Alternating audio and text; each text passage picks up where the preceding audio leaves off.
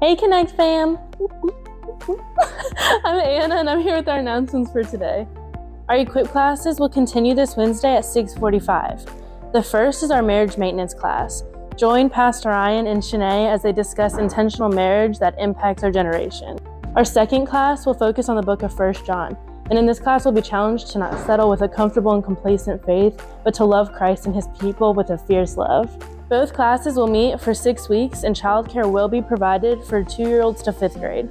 You can find out more information and sign up at our website, connectalgiers.com slash equip. Good morning, Connect fam. My name is Danielle.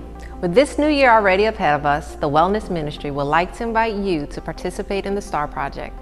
STAR stands for Strategies to Trim and Reduce trimming that waistline and reducing that pressure. This program will start Monday, January 23rd at 6 p.m. in the Fellowship Hall. This is a 10 week program that you won't want to miss. But here's the thing space is limited to 10 dedicated participants willing to commit to this 10 week program.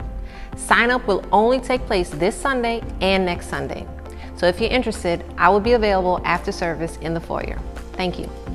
Okay, now y'all, I heard we have some men who can cook and they're ready to show off their culinary skills at the upcoming men's breakfast. It'll be Saturday, January 28th at 9 a.m. in the Fellowship Hall, so bring your appetite and come get to know some of the men at Connect. Speaking of a good time and getting to know people over food, our fifth Sunday fellowship is Sunday, January 29th, directly after service. Don't worry about bringing a dish, the church is going to provide the meal. Thanks, Emily and Bubba. Hope y'all can stay and hang out with us. Well, that's all the announcements I have for you today. If you need any more information, check out our website at connectalgiers.com. Bye!